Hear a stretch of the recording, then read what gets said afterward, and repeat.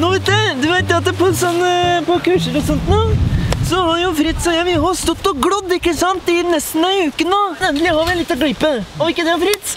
Så nå tenkte vi også å få kikka litt, for det syns vi er spennende. Så nå ser vi at det er noe leven bortpå her. Hallo! Hei, Svein! Hei sann!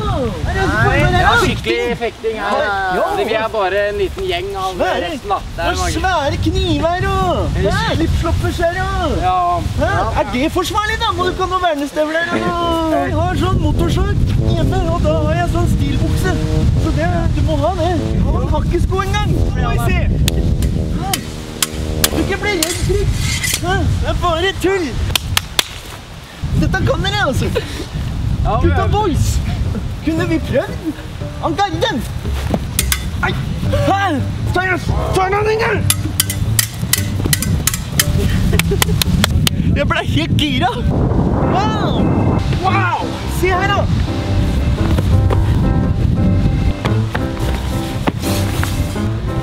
Det funka ikke. Sånn ser det er treningsapparater. På overskuddet vekk, da. Gikk fort. Sånn. Ferdig. Fritt. Nei, nå, nå må vi ned til kampen. Å, den er fin. Se her. Wow. Hallo! Her er kiosken. Kom! Her er det mat. Kom forbi. Og du flytta den, altså. Kom i folk? Det grill, ja. Du, vet du hva? Det blir så godt. Fritz, er ikke du veldig glad i salat, Fritz? Han hater salat. Han spiser ikke annet enn sånn den der kjøttbetta og noe sånn dressing oppå. Og det er det. Det er ikke rart han blir feit. Ja, men tomat, da? Tomat! Det er fremmedord for en Fritz. Da er treningsstudio next, altså. Er jo det.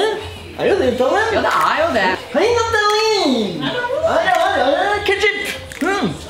Mm. Det går i ide Nei, men vi skal ikke, vi skal ikke oppholde dere noe mer. Det er fint. Så det er eh, Natalie. Eh, Vi snakkes. Du går så nærme Det er Hygiene. Du er full av skitt. Her er en sånn mat. Uten mat og drikke duger helten ikke. Jeg liker når det er prat og leven. Hæ? Hør, da. Får, får du det på linsa?